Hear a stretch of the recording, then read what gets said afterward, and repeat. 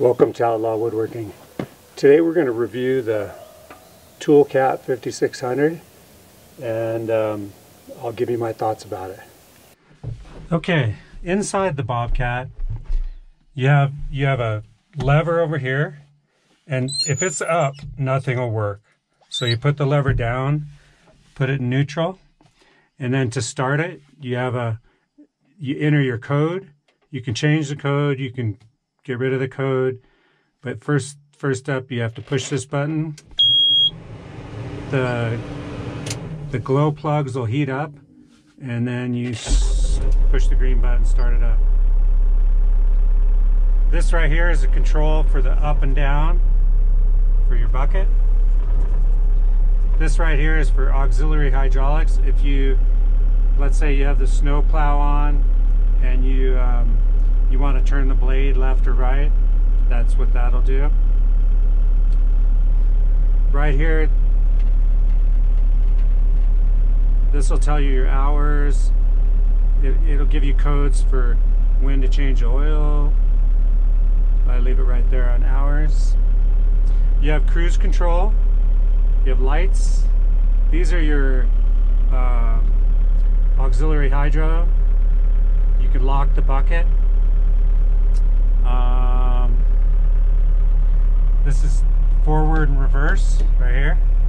This button right here, you can change it from a turtle mode, from the turtle to a rabbit. Top speed is 17 miles an hour. Right here is your throttle. Right here is your lever for um, raising your raising your uh, dump bed up and down right here is a this is the switch to switch from two-wheel steer to four-wheel steer and I'll demonstrate that. There's your high flow for your hydraulics windshield wipers. Uh, here's your air conditioner. It has air conditioning and heat which is really nice. Here's your blinkers left blinker right blinker and it has a horn. Right here is uh, also the turn signals uh, indicator tells you which one's on. It'll, it'll flash right there. Here's your light switch. This is the control to lock. If you look outside, you see the hydraulics out there. It's automatic disconnect, which is really nice.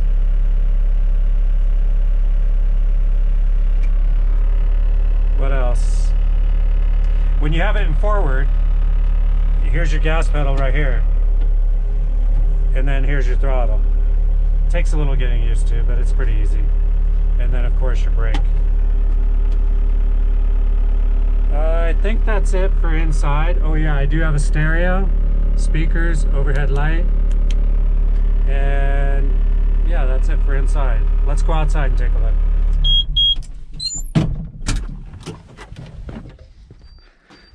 Of course, you got your mirror outside, got your headlights, off-road lights up here. Right here is your hyd auxiliary hydro hydraulic hookup with the electric plug. Um, yeah, we'll do a little walk around. I did break this window recently. I opened the door and hit one of my rocks and uh, I'm gonna have to fix that. Here's my headache rack that I built. Installed a, a quick release chainsaw mount um, fire extinguisher, of course, because I live in the forest. Here's your engine compartment. Oil filter, oil dipstick, pump. If you if you run out of gas, you can bleed it. That tire looks a little low.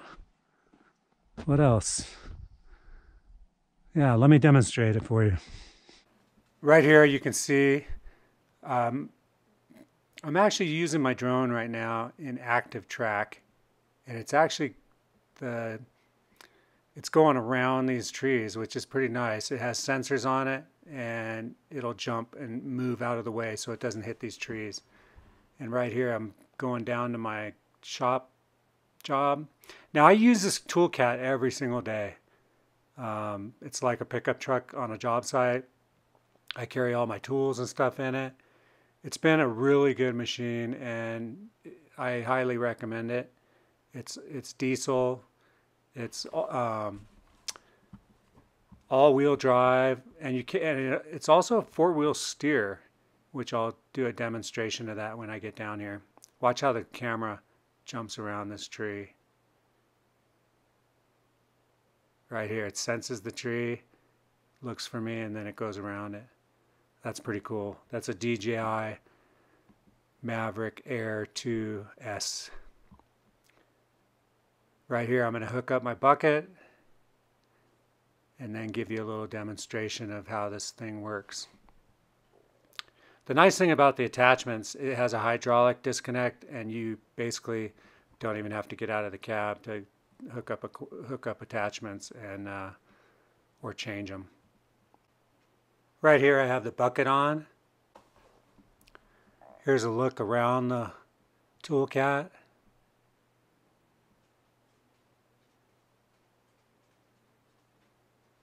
I love this machine. It's not a great machine for off-roading because the suspension's too stiff, but it's a great machine for work. Now here I'm going to demonstrate the dump bed.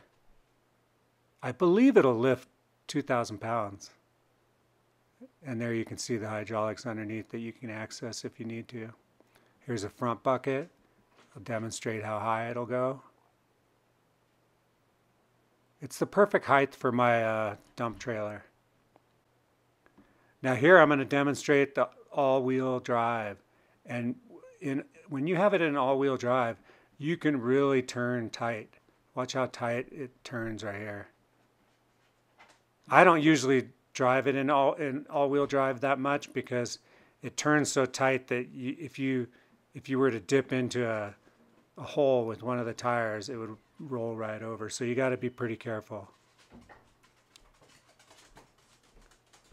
But this is a demonstration of, uh, watch how tight it turns right here. And that comes in handy sometimes when you get at a tight spot. Here's another look at it. Here's one of here's my snowplow attachment. And the deer seem to be cruising around right now. I leave water out for them. They're not really scared of me either. Here's a um, demonstration of the snowplow. Here's a demonstration of my bucket. I'm constantly trying to clean up my property for fire mitigation, so I'm uh, I'm constantly uh, loading this dump trailer up. Here's a demonstration of it dumping in the dump trailer.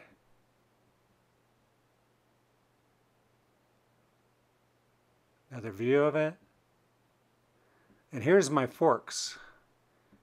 There's the forks that I have, and I use those a lot especially for unloading material, unloading rebar. And here's a demonstration of it'll lift a full bucket of gravel. Another view of it with the drone.